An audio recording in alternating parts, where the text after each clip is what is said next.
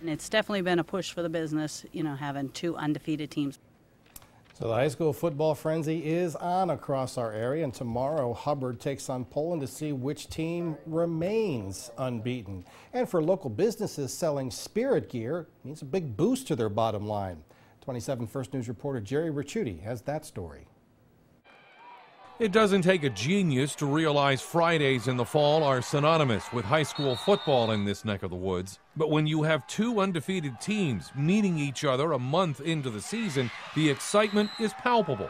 You want the ticket too? Yeah, I need a ticket too. I need it. Workers at Eagleware in Hubbard tell me the game this weekend, pitting the hometown Eagles against the Poland Bulldogs, means more than just a growing rivalry between the two schools. It also helps the store's bottom line through the sales of spirit wear like shirts and hats. Everybody jumps on the bandwagon.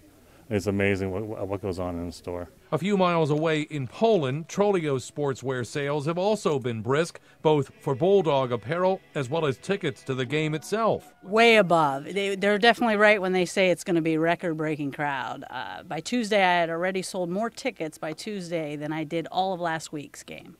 While stores like these sell a wide variety of silk screened and embroidered items, the local schools are always in demand this time of year. It's always doing something, so it's a lot. Like I said, it's it's it's a lot of fun. We meet a lot of people and stuff like that. But football's Football's the biggest. Definitely a, a, a great push for the business. Uh, you know, it's great that they're undefeated, and it's going to be a great game, you know, for both sides. Which is always good when you're trying not to be too partial. I mean, my kids go to Poland, and I went to Hubbard, so I guess I can root for both. But I guess I'm going to have to root for Poland.